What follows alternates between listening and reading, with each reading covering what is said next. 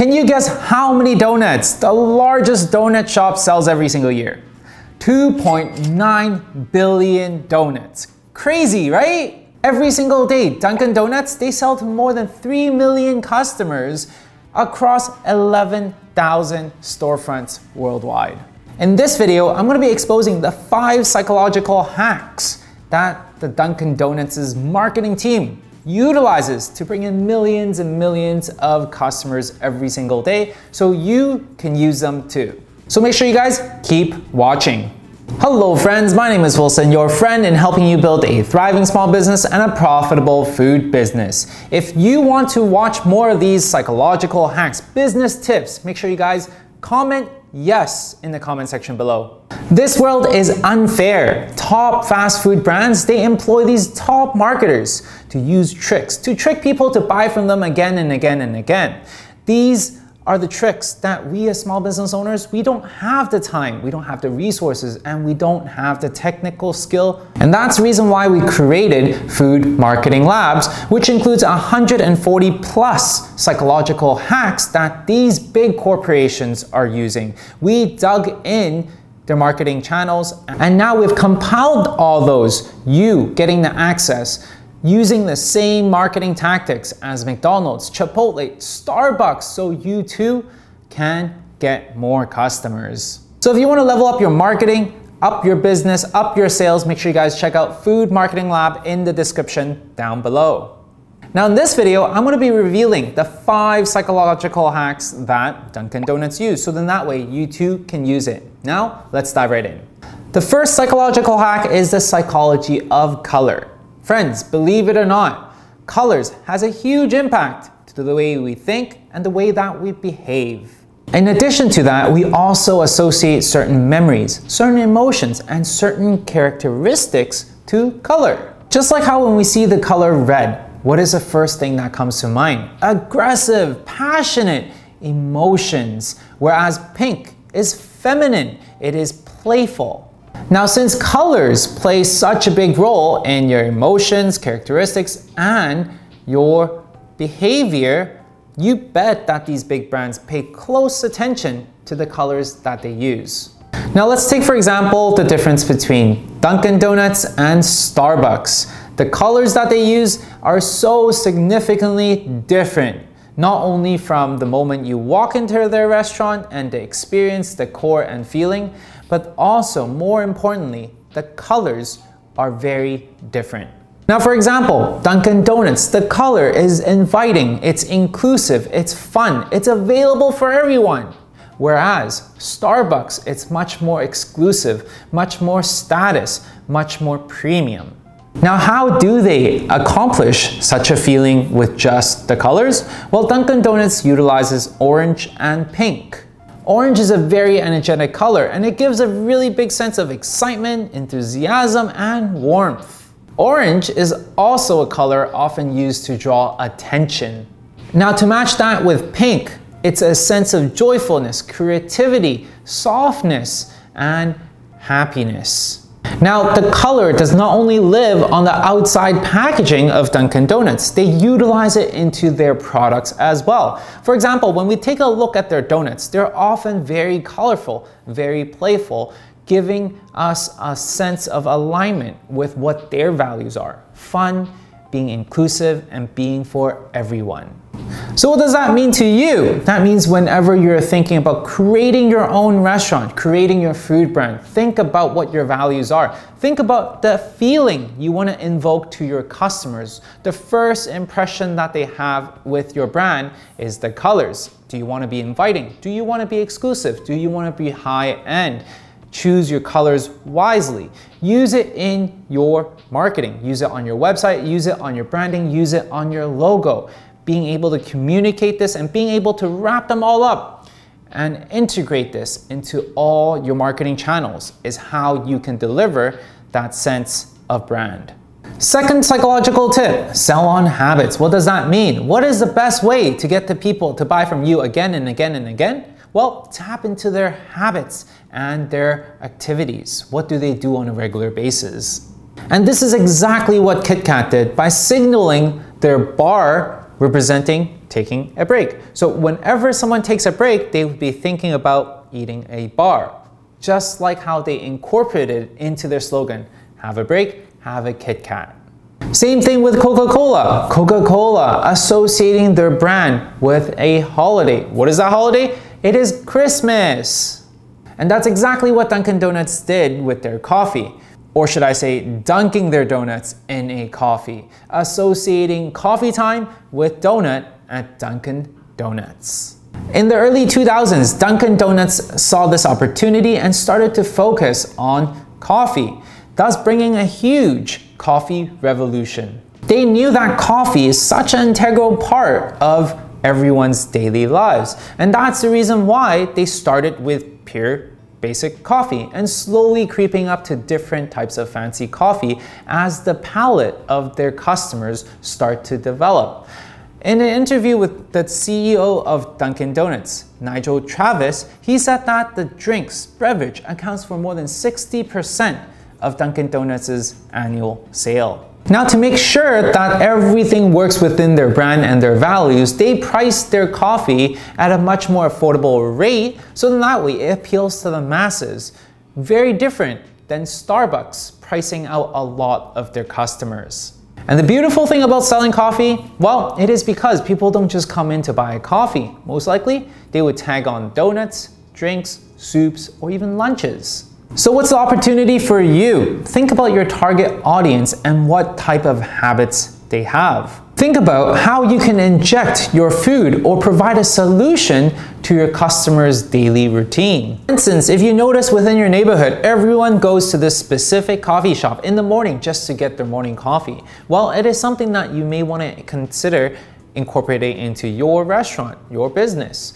Whereas if your customers love reading, then perhaps you can host a weekly reading night, a book club, for example, every single week on the slower nights. The bottom line is, guys, you need to understand what your customers are doing, understand their habits, understand how they buy. And you want to be able to incorporate your food item into their daily lives. The third psychological hack is the Barnum effect. You know what is the most interesting topic that there is? The topic is you. Everyone has this insatiable appetite and interest to talk about themselves. And Dunkin' Donuts, they took full advantage of our desire to talk about ourselves in their campaign. So that way they created a ton of buzz, a ton of noise, and a ton of sales. This campaign is the Dunkin' My Donut personality campaign. So what happened? In 2017, in honor of the National Donut Day, Dunkin' Donuts came up with a campaign which matched your personality with what you choose to eat, what you choose to order. Basically, they're telling you what type of personality you are just by the donuts that you choose. Now, everyone goes online, created a ton of buzz just to share people with what type of donuts they represent. Not only that, they also matched you with the perfect cup of coffee, being able to actually match the cup of coffee that tastes best with the donut of your choice. This is precisely what the Barnum effect is. It is when a individual believes that personality descriptions apply specifically to them, way more than other people. Now, although the personality descriptions are actually often filled with information that applies to everyone else. So how does this work? Well, we as humans have an inherent sense of being able to self-identify with certain things. The desire to self-identify is also the reason why we love personality tests, we love horoscopes. And that is also the reason why more than 90% of Americans, they know their star symbol, their star sign. And more than 50% of these people, they actually read the horoscope. They self-identify and they actually take advice from these horoscopes. Now, speaking about horoscopes, this industry is worth more than $2.2 billion, guys. Well, by the way, Barnum effect is not exclusive only used by Dunkin' Donuts. Starbucks uses it, Chatime uses it, Krispy Kreme uses it in their marketing efforts on social media. So what does this mean to you? Know the fact that we as humans, we love to self-identify. We love to talk about ourselves. The most interesting in the world is ourselves. That's reason why if you and when you know this about human beings, look at your customers, see who you cater to the most and then create a dish that is, for example, known for them. Being able to allow them to self-identify. For example, for the courageous, for the dreamers, for the wanderers, for the family guy. The fourth psychological hack that these big brands uses is the sensory appeal. Imagine you walking down the street, you walk past a bakery and you smell this fresh bake aroma. You can't help but think about the buttery croissant taste. And taste, even though it's not the morning time, you are craving for that croissant. This, my friend, is the power of sensory appeal. This strategy is used super often with big brands because the food and beverage business is just so fitted for this strategy. Dunkin' Donuts is no different. Sensory marketing is being able to stimulate one of our five senses or a combination of the five senses, whether it's our sight, our hearing, our smell, our touch, or our taste. The stimulation of any of these senses is what really makes us feel a certain way, makes us act a certain way, make us have certain behaviors. Just because it might sound simple, hey, stimulate your senses, does not mean it's easy to use.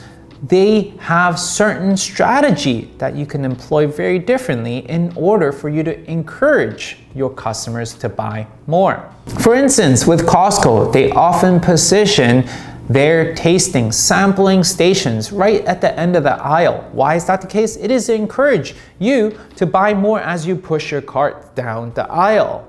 This could very well mean an extra bag of dumplings, an extra bag of cheese, an extra bag of your favorite nachos. Big brands are able to utilize these sensory appeal very, very strategically. Specifically for Dunkin' Donuts, they were able to utilize the sensory appeal to bump up their coffee sales in a super competitive marketplace, South Korea. So what did they do? They knew that people in Korea, they view Dunkin' Donuts as a donut first shop, coffee second location. And that is precisely the perception that they want to change. They don't want to be just known as the donut shop. They want to be known as a coffee shop as well. One thing that they notice is that people that usually buys coffee is on a commute heading to work. So what did they do? They installed these flavor radio boxes on all the bus stops in Seoul. What does that mean? That means that everyone that walks by, they emit a sense of coffee smell.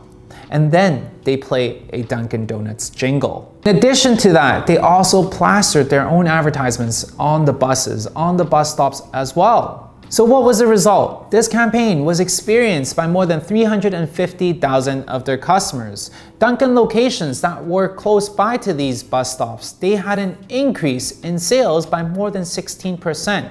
Overall as a chain, they made more than 30% increase because of this campaign. So what is an opportunity for you? Now I know you probably don't have the budget to install these flavored radio stations at bus stops. It's okay, guys, it's okay.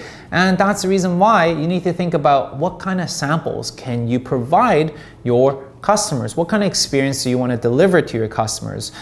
Challenge all five of your senses, whether it's taste, and we see that quite often at an ice cream shop. Taste is always the best thing because you know what? Everyone walks in, they want to try your ice cream, and you give them different tasters for different ice cream. Now for us, we challenge not just the taste, but also the visual. That's the reason why we installed a certain insert, a very specific insert that allows smoke to come out of a cup. So when people order their ice cream, not only are they, are they able to taste it, but also visually it is super stimulating for our ice cream shop. Now let's say if you don't sell ice cream, what else can you do? Think about what kind of samples can you give away in order for you to Stir up these emotions, stir up the idea for people to purchase more. Let's say, for example, you're in a Chinese restaurant. Well, you know what? You can provide a sample, not just of the dish that they ordered, but a dish of something else that might go well with what they ordered. This itself allows us to stimulate your customers in a different way.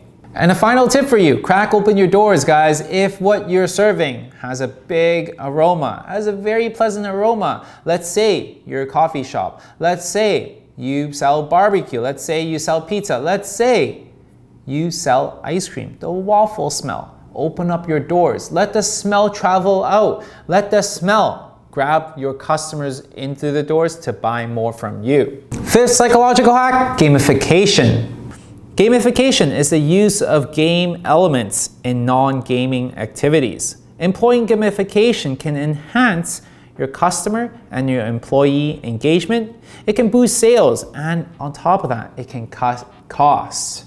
Gamification is a super powerful tactic and technique. In my previous video right here, we talked about how Domino's is able to utilize gamification in their tracking system. In Dunkin' Donuts' case, they follow the same footsteps as McDonald's and Starbucks. They utilize gamified rewards and loyalty programs to reward you with points for every purchase that you make. The points that you generate, it can be redeemed for donuts, coffee, and sometimes they even have bonus days, giving you double the points that you can accumulate. So why does this work? Well, achievement is one of the most powerful feelings that drives a human to do something. If you can achieve this, if you can make your customers feel achieved, then they would have much higher chances to come back. And on top of that, who doesn't like a reward? Oftentimes, people will go out of their way just to get a reward. So what does that mean to you? Add gamification to increase your loyalty. If you don't have all the bells and whistles and the budget for something like this, it is completely fine. Use a simple stamp card like any coffee shop, like any bubble tea shop. Other ways you can incorporate loyalty programs would be through Square or different applications out there. What you need to do is to make sure the reward you're giving out is attractive enough. Think about it. If you are not willing to do the activity in order for you to earn the reward, what makes you think your customers will? And that's the reason why you must make the perks attractive, appealing, so then that way your customers will actually want it. And at the same time, make sure the rewards won't break your bank. Make sure you are profitable at the same time. Bonus point for you guys, add exclusivity to different events and different holidays, making people come in during these times just so then that way you can double up their points or give away something more special just because they showed up during these events. So there you go, friends. These are the top five psychological hacks that Dunkin' Donuts and all these big corporations utilizes to get people to buy more from them, to get people to become loyal fans, so then that way they can get more customers. And if you're interested in utilizing some of these secret hacks, tactics that these big corporations uses, then definitely check out in the link below Food Marketing Labs, which has more than 140 psychological hacks that we compiled together, shared with you, so then that way you can get more customers for your food business. I hope you guys enjoyed this video and if you guys do, make sure you guys smash that like button because it shows us that this is the type of content that you enjoy. What does that do? It makes us more, make more of these guys for you. Now, I'll see you guys in the next video.